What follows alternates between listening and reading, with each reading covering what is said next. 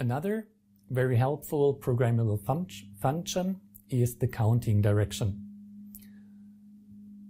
By setting this counting direction, the encoder knows in which direction you want to count upwards or downwards.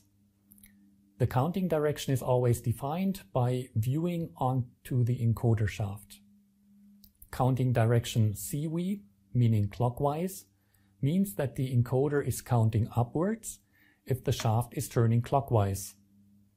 And on the other hand side, CCW, meaning counterclockwise, means the encoder counts upwards when the shaft is turning counterclockwise in the other direction.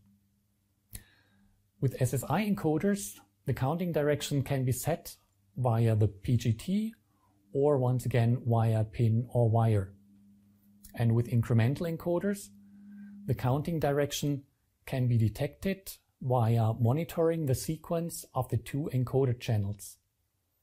And then the signal sequence can be adapted in such a way that by comparing which channel comes first, you know which direction is the actual direction of rotation.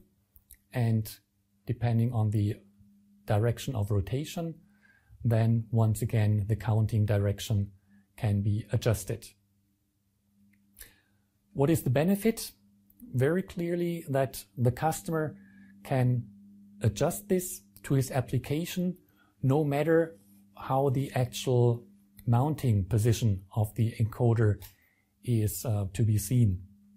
And once again, this freedom in encoder assembly um, saves a lot of efforts on the mechanical side or also on the programming side so that no um, programming adaptation is necessary on the PLC.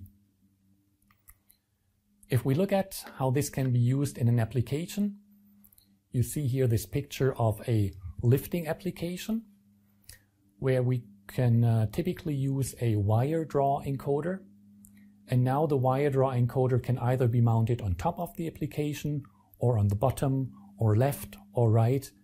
And no matter where the best mechanical position is for the mounting of the encoder, we can easily adjust the counting directions so that always when lifting upwards, we are counting in positive direction.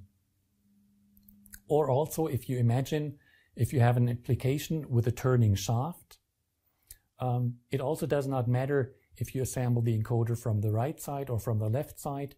You can always adjust the counting direction in such a way that you always have your desired and your preferred counting direction.